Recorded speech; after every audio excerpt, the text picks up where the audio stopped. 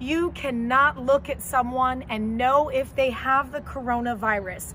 That's what the new scientific data is saying, which could explain why doctors and scientists and public health officials are urging you to wear a mask. Medical Director of Infectious Diseases, Dr. John Bradley from Rady Children's Hospital, explains. Dr. Bradley. Yes, Shally. Every time I see you, I, I, am excited, A, just because I think you're a gem of a human being and I appreciate uh, factual, truthful information that people need to have in order to be able to protect themselves and their family. Every time I see you, I also slightly get a little bit anxious and nervous because we've been talking for months now, and every time I come here, the information is it, new. It changes and I'm and that's that's sort of the reality of coronavirus. As we learn more about it, we we change direction, and what we thought coronavirus would do. Uh, and it doesn't do, oh, okay, we're, we're going away from that. Or we find stuff that it does. We had no idea. We're now having to change direction and, and, and be more conservative in how we protect people who interact with each other. The first thing I want to talk about, Dr. Bradley, are the face coverings. And I ask that because in just in what you were saying about the changes, I still remember to this day having a, a, very vivid conversation with my husband where I'm like, well, the public officials are saying don't wear masks. We don't need masks. What are you talking about, honey? And he said, put a mask on. Fast forward a few weeks and months, and now we're being asked to wear them. Yes. And we see the divide, and so much in our newscast is about people who are refusing and the fighting that's happening, and I don't want to wear them. Do we see how, what has changed, and do we see how there is a little bit of confusion in the message of how we can protect ourselves right now? So, so yes, absolutely. And and and there's there's two parts of that question. One is is what is it that a mask can do? And then the other is we've got guidelines for social distancing. And if people don't respect those guidelines, but you have a mask on, you'll still be okay. And but if you don't wear a mask, and Uncle Charlie, who you haven't seen in months, comes over and just wants to hug you, uh, Uncle Charlie might be contagious. If you have a mask on, you'll probably be protected. So, so what's changed with the masks? Um, we initially believed that surgical masks, we still believe this, will protect you from getting the virus. Surgical masks are FDA approved. They go through all this testing. There's filtration, multiple layers. Uh, excuse me, they fit well. And N95 masks, this is a surgical mask, N95 masks even fit better. You seal the entire area around your nose and mouth, and we test them in a chamber to make sure no aerosols get in. So those are those are the best, and those we use for, say, surgeons who are doing aerosol generating procedures. But these masks will protect you.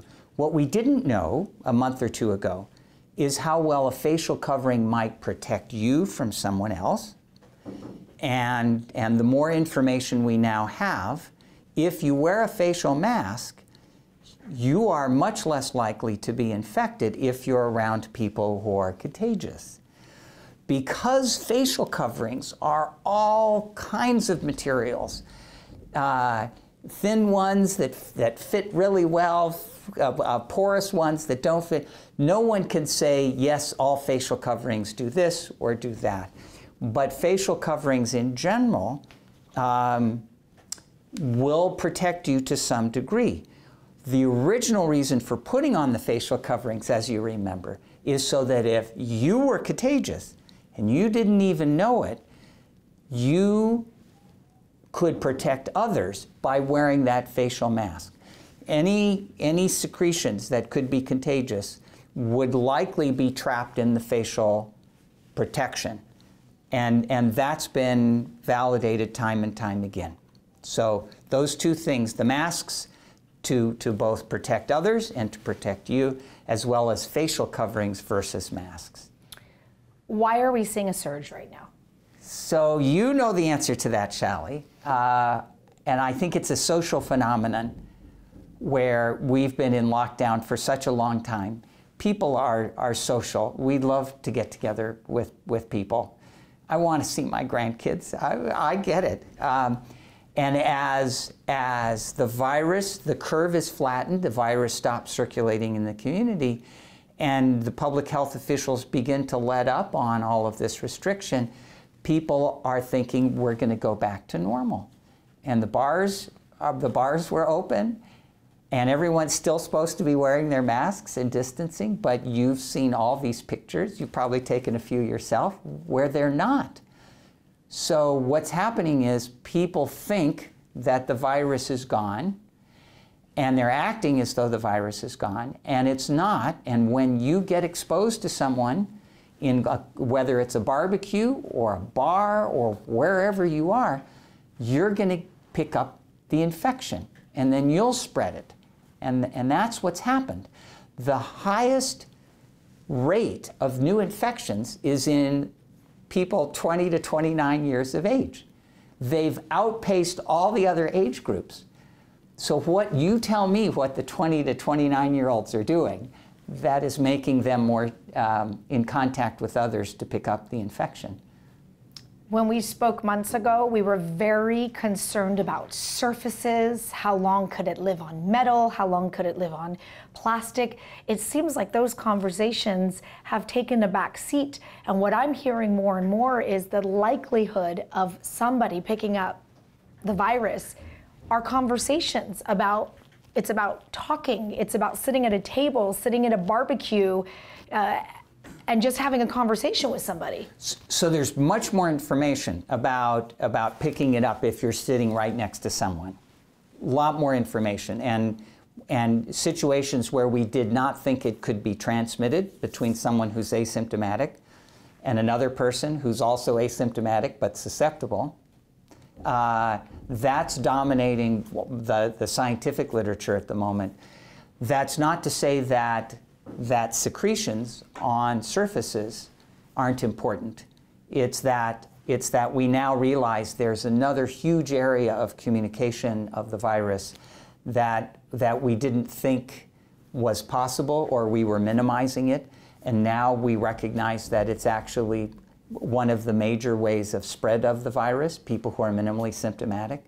And so everyone's focusing on, on the masks and distancing right now.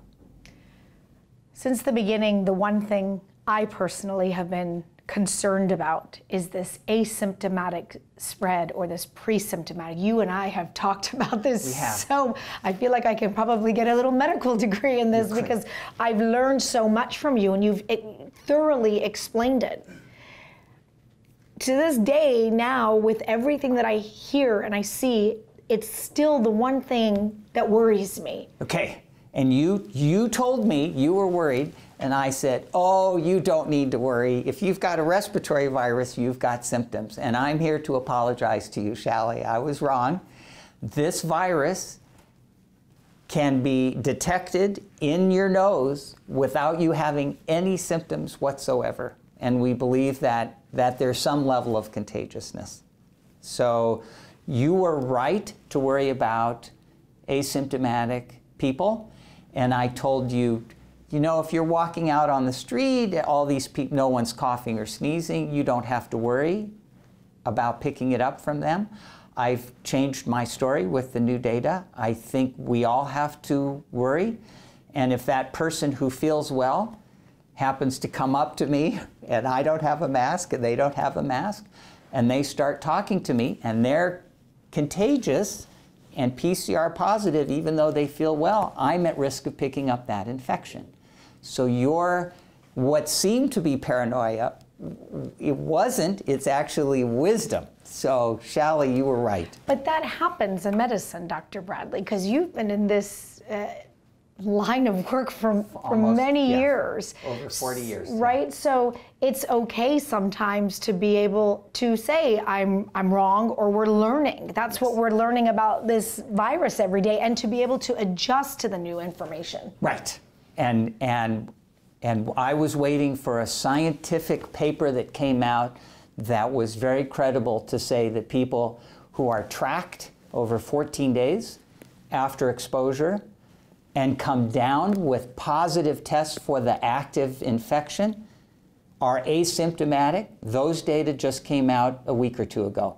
So I was a skeptic, now I'm converted. So uh, uh, I'm learning, the whole scientific community is learning. Uh, Dr. Anthony Fauci didn't believe this could happen. He's, he's learning. We're all learning together. And the recommendations will change as we learn more.